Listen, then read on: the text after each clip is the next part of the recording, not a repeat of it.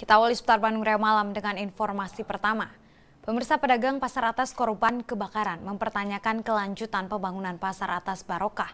Mereka khawatir target operasional awal tahun 2018 kembali mundur karena pembangunan tak kunjung dilanjutkan.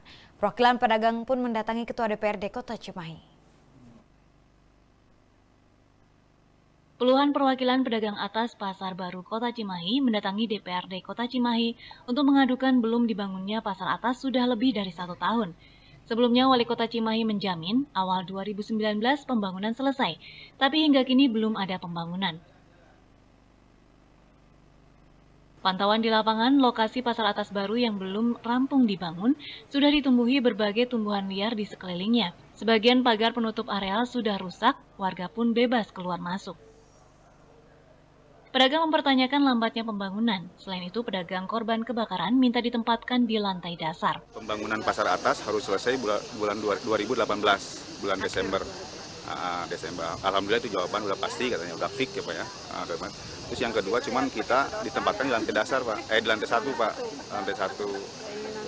Kalau keinginan sih dari dulu sampai sekarang pun di lantai dasar. Sementara itu Ketua DPRD Kota Cimahi meminta wali kota segera membangun pasar dan memprioritaskan pedagang korban kebakaran. Program itu harus yang disukai mereka. Makanya ketika membuat program, tampung dulu aspirasi mereka.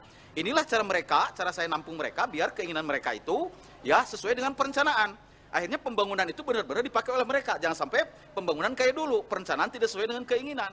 Kebakaran meludeskan ratusan kios di Pasar Atas, Jalan Kolonel Masturi, September 2014. Namun hingga kini pembangunan pasar mangkrak. Agi Muhammad Gifari, Bandung TV.